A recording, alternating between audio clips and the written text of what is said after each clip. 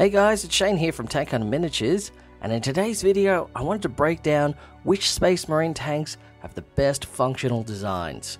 Uh, not just what they look like, but how well they would actually perform in a realistic situation.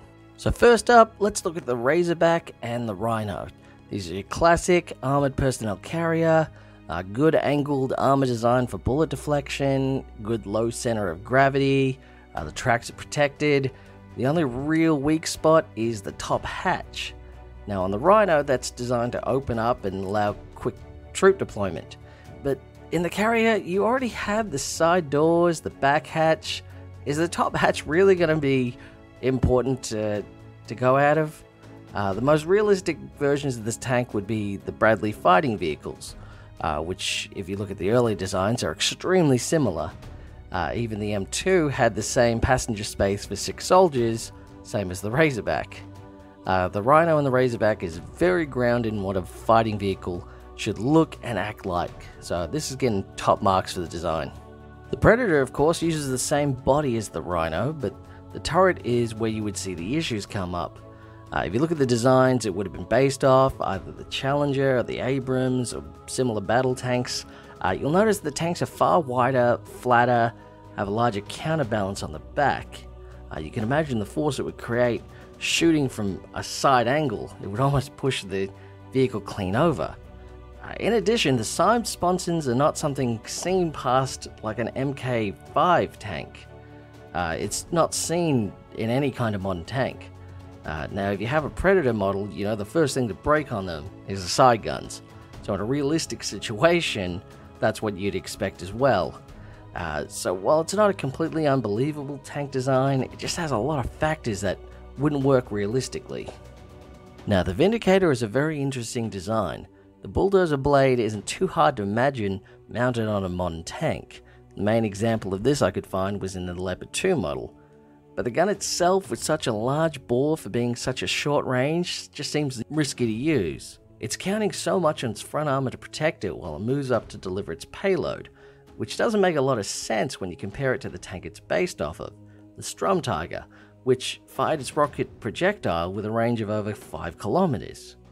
So aside from being a situation where you had to get close up to an enemy to fire, because there's either a force field that couldn't be passed through from long range, or some defense system that would shoot shells out of the sky, the Vindicator just wouldn't be viable in a battlefield situation where artillery could do a much better job. Uh, the other point I wanted to make was in relation to both versions of the Vindicators, was the fact that it's one of the few tanks in Warhammer that are turretless. The gun is just built into the body. Uh, there are a few tanks that have this function, like the SU-100, which is a tank destroyer, and like the Demolisher cannon, has the ability to alter its trajectory. However, the Vindicator Las, the laser destroyer, is much more like the Stridsvagn 103, which main gun cannot move on its own and requires the tank to move to alter any kind of targeting. Uh, there are a few other tanks I want to talk about that have this issue, but we'll get to it later. So the Land Raider and the Spartan tanks are not a bad design at all. They look awesome. They take obvious inspiration from the Mark V tank from World War One. Uh, the World War I style of tank suited its purpose, which was to storm trenches, cover dangerous ground, was essentially to fight an enemy that was dug in and not moving. This is why you see in World War II style tanks, it's a whole different style to replace them. It's more based on speed, heavier firepower, attacking an enemy before it had the chance to get dug in.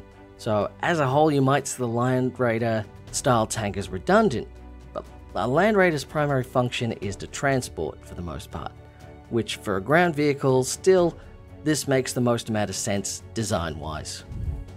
When it comes to the Whirlwind, Hunter, and Stalker tanks, these will be considered MLRS, multiple launch rocket systems.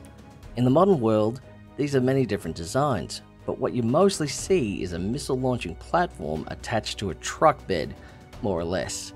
So an armored tank design is not generally needed when they're firing at a target from so far away. But it makes more sense for the Space Marines to adapt this from a vehicle they're used to using.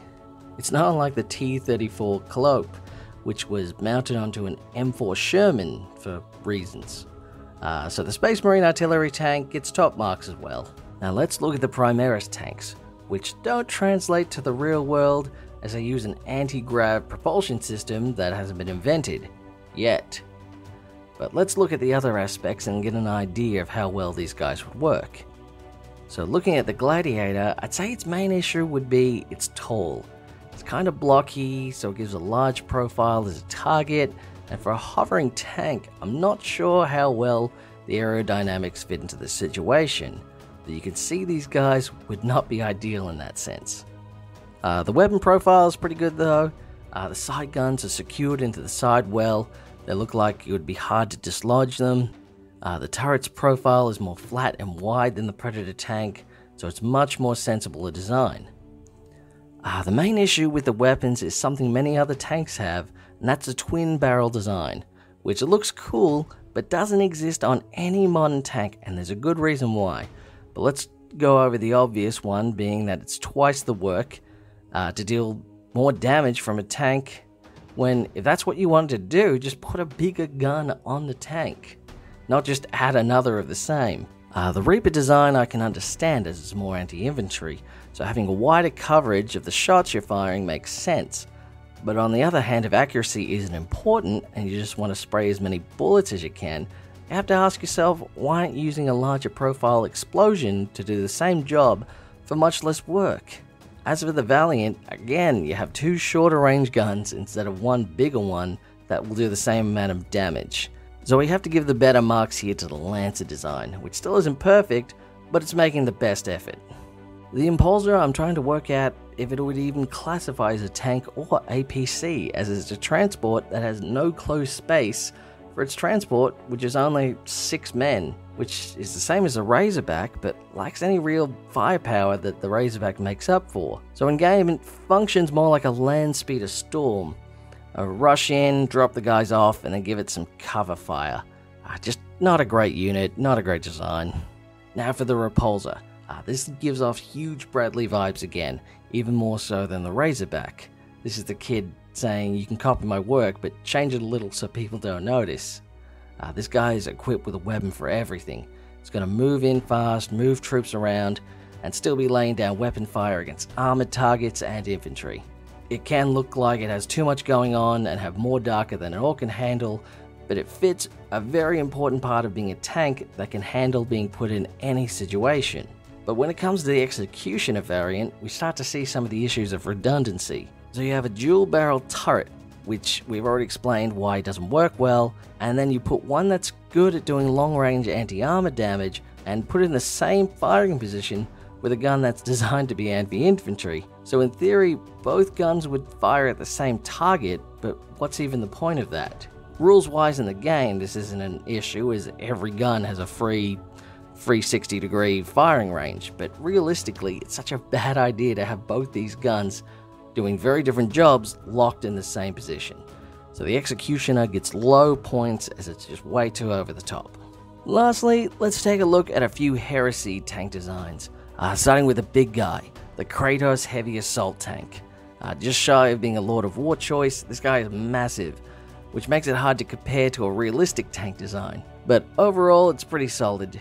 Again, the side sponsons are an issue, but the turret is flat, wide, and while it does come off as blocky overall, uh, it isn't going to hinder it as it's not going to deal with much wind resistant issues as it doesn't need to go fast. It should be able to outrange most other tanks with its massive guns. So, yeah, top marks for the Kratos. Now, this might be a controversial take, but I do not like Sicarians in any form. This has to be the worst designed tank I have seen to date. Now, let me explain. You have a tank with all its weight in the back. Its engines are high off the ground, with its turret supporting a massive guns in all versions of the tank, which would give massive recoil when firing without some special anti recoil tech. But let's look at from a realistic view. And when you have this narrow front, which is going to weigh so much less than the back end, how is this tank not going to topple over backwards every time it fires or goes up some mildly sloped hill? Uh, not to mention the main battle tank, as previously mentioned, pointless dual barrels. Uh, just have a bigger gun. Now let's look at the other versions. Uh, the Punisher. all the same issues, and now you have a massive gun hanging off the side with a very exposed weak point. You're able to dis- disable the main cannon so much easier. So, yeah, this gets an equally bad rating. Uh, the Omega Tank Destroyer. This guy has two Warhound Titan plasma cannons. Uh, the amount of power contained in this tank would make it a walking plasma nuke that could go off at any time if you left it charging for too long. Uh, this is a hazard to everything near it. Uh, the Arcus strike tank and MLRS battery as the turret. Not terrible, but why though? It could just as easily put on a smaller tank profile and would deal just as much damage. Lastly, the Venator Tank Hunter, which fixes the balance issues with the main cannon weighing enough to keep the front on the ground, but then we're looking at two issues. One, being the same as the Omega, where this guy is going to make a huge explosion as the whole tank is just one giant gun, and two, its turret is fixed into one position. Like we mentioned with the Stridsvagn tank, uh, it's not going to be able to target fire unless it's stationary, and the Venator can't change the angle of its gun in any form. Its primary targets are going to be heavy armored tanks or fortifications that have to share the same level as the Venator, and being slow and unable to move at all. So again, bottom marks, so I'd have to say Sicarians are the worst designed tanks of all Space Marine tanks. Alright, that's it for this video. Thanks for watching. Let me know if you'd like me to make another one of these tank rating videos for a different faction. Uh, until then, please subscribe if you haven't already. I'd really like to hit 1k subs before the end of the year, so it would mean a lot to me if you did. And thanks again for watching, and I'll talk to you soon.